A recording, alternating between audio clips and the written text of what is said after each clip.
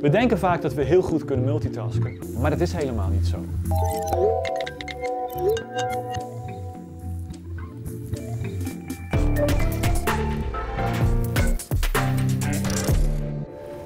Zo, nog snel nog even dat ene appje sturen. Je denkt misschien dat het niet zoveel kwaad kan, maar het is gevaarlijker voor jou en anderen dan je misschien denkt. Waarom? Omdat we eenmaal heel slecht zijn in het uitvoeren van twee dingen tegelijkertijd. Jarenlang daalde het aantal verkeersongevallen en verkeersdoden, maar sinds 2014 stijgt dat weer. Appen het verkeer is één van de oorzaken daarvan. We overschatten onszelf. We denken vaak dat we heel goed kunnen multitasken, maar dat is helemaal niet zo. Sterker nog, je kunt helemaal geen twee dingen uitvoeren die beide een beroep doen op je aandacht.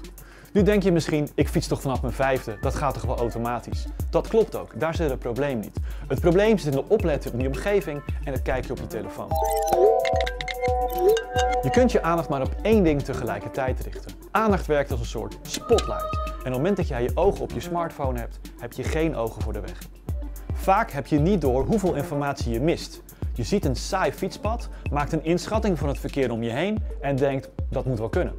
Wat we dan eigenlijk doen is het wisselen tussen taken, task switching. En je kunt het vergelijken met een werkbank waar gereedschap op ligt. Op het moment dat je van taak wisselt, moet oud gereedschap van de werkbank en moet nieuw gereedschap erop gelegd worden. Dit kost tijd en daardoor ben je in totaal veel langer met je taak bezig. Als je optelt hoe lang je ogen van de weg af zijn als je op je telefoon zit en hoeveel tijd het kost om te wisselen tussen taken, dan ben je al snel tientallen meters verder. En stel dat er dan ineens iemand voor je vol op de rem trapt, dan ben je echt te laat. En ook al denk je, nou dan fiets ik wat langzamer, er kan nog steeds iemand zomaar de weg oversteken. Nog een bijkomend probleem is dat die apps gemaakt zijn om jouw aandacht zo lang mogelijk vast te houden. En daar zit de crux.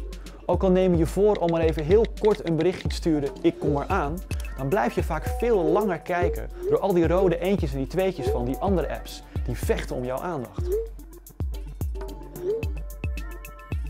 Dus de volgende keer dat jij heel even je telefoon erbij wilt pakken, op de fiets of in de auto, bedenk dan goed.